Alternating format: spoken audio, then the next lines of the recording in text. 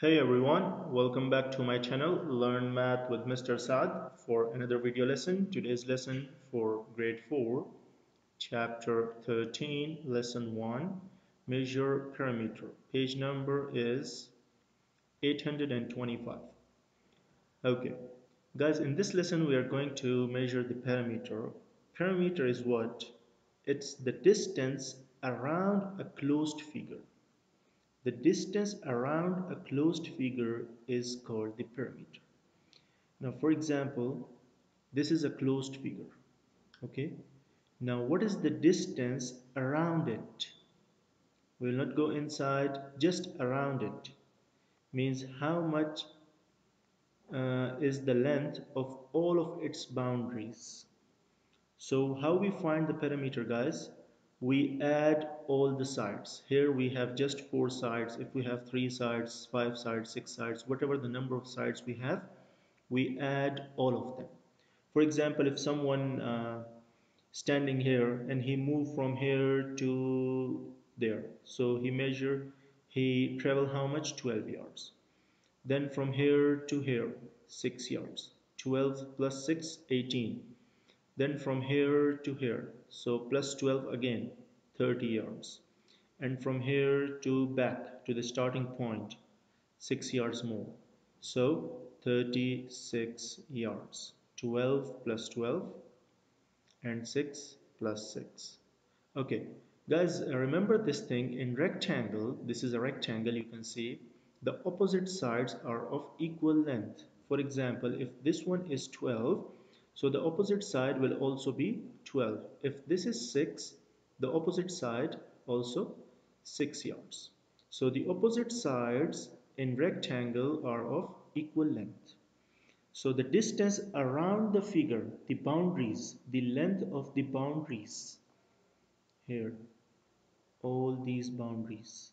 You add all of them to find the perimeter. Okay.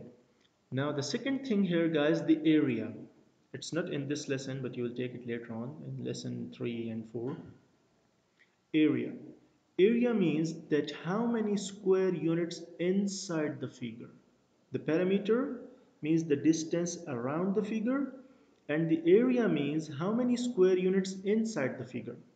Like this is 12 so we divide it into 12 equal parts. You can see I make 12 equal parts. 1 2 3 4 5 6 7 8 9 10 11 12 and if this is 6 yards so I divide it into 6 equal parts each one 1 yard 1 2 3 4 5 6 so how you can find that how many total square units inside? You will not count them of course.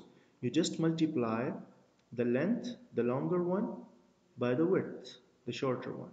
So area the formula for area is length times width 12 times 6 the length is 12 the width is 6 12 times 6 72 and with the answer of area we always write square units. Here we are using yards so square yards. Because in area we are finding that how many square units inside it. Okay? So the perimeter we add all the sides because the perimeter means the distance around the figure and the area we count how many square units inside. The formula to find the area length times width length times width. 12 times 6 72 and we always write square yards because area means how many square units inside the figure.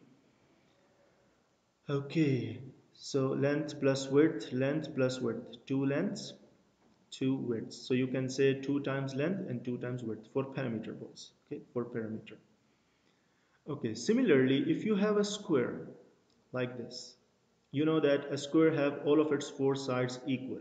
If we just give you one side and you don't have the other three sides you must know that square have all of its four sides equal. So you will know all are six inches. So the distance around the figure the boundaries the length of this blue line 6 plus 6 plus 6 plus 6 24 inches. And the area you divide it into 6 parts and this one also 6 parts. So 6 times 6 for area the area of a square guys you can also say because there is no length no longer side no shorter side so you can also say side times sides s times s. So which is 6 times 6 36 square. This time we write inches because it is inches. How many squares inside it for area?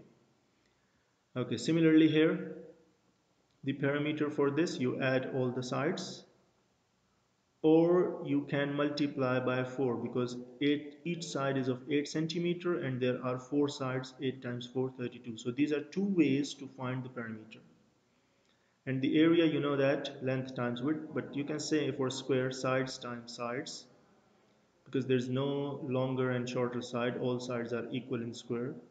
Or you can say length times width so 8 times 8 64 square centimeter this time because this is centimeter. For this one the perimeter 7474 so you add all of them and for area you multiply length by width. Length is 7 width is 4 7 times 4 28 square inches because it is inches this time. Similarly guys here on the next page you will solve all these questions by yourself. Here we find the perimeter and this is the area. This is the perimeter. For square there are two ways to find the perimeter. You can either add all the sides or you can multiply a single side by 4 because there are 4 sides two ways to find the parameter and this is the area. So guys solve all these questions by yourself and then match your answers through this video. Okay where what is the unknown side? From the opposite side you will see. It is 6 yards. For square all sides are equal so the unknown side is 4 and here we are counting because these are just square units there's no unit like centimeter feet inches yards. You count them 1 2 3 4 so 4 4 4 and 4 add all of them to find the perimeter and multiply any two to get the area. For this one this is 8 and this side is 2 now here 8 2 so for perimeter you add all of them. And for area you multiply length times width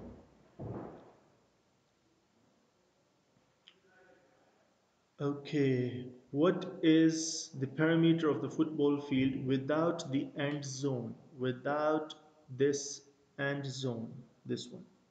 This is the end zone. Okay, without this end zone, you can see boys, this is end zone, end zone, okay, without this end zone. So this is 300, it means this one also 300 till here without the end zone and end zone is how much? 10 yards. So this is 10 this is 10 this one 10 and this one 10 so with the end zone the total is 320 10 this side 10 this side so it becomes 320 similarly here 320 and this is 160 so this is also 160 so without the end zone, you will multi you will add 300 with 300 plus 160 plus 160, 920 feet. And with the end zone, you will add these four tens also. So it will become 960 feet. Okay, a baseball diamond is shaped like a square, like this. The perimeter of is 360 feet. They give you the answer. They want you 4 times what is equal to 360. What is the each side?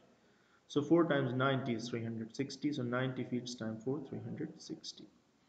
Okay, here you have to find out the unknown. What is the distance here? If this is 4, you can see 4 feet, 4 feet. So the remaining, the opposite side, it is 10 total. So it must be 10 total. Okay, so this is 6, this is 4 so you add all of them we added here to find the parameter. And here's some explanation. I hope you guys understand the lesson. If you really understand guys don't forget to like this video and subscribe my channel learn math with Mr. Saad. And also press the bell icon to get notified for every new video. Thank you so much guys. Have a nice day